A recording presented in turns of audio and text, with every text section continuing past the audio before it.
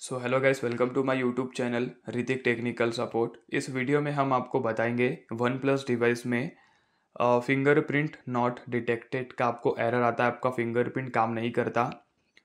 तो कैसे आप यह प्रॉब्लम को सॉर्ट आउट करेंगे? Okay okay? वीडियो स्टार्ट करने से पहले आप लोग हमारे यूट्यूब चैनल को सब्सक्राइब कर लीजिएगा बिल के आइकन को प्रेस कर लेना है।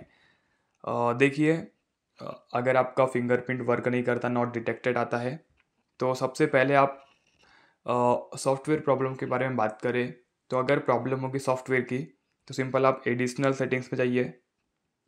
बैकअप एंड रिसेट पे क्लिक करें रीसेट फ़ोन पे क्लिक करें। आप अपने फ़ोन की जो आल सेटिंग्स होती है, उसे रीसेट करें। आल सेटिंग्स को रीसेट करने के बाद आप अपना फिंगरप्रिंट फिर से ऐड करें। अगर ऐड हो जाता है तो काफ़ी अच्छी बात है, आपकी प्रॉब्लम भी ठीक हो जाएगी। अगर आप लोगों ने रीसेट किया, फिर भी आपका फिंगरप्रिंट काम नहीं करता तो हो सकता है ये प्रॉब्लम हार्डवेयर की होगी।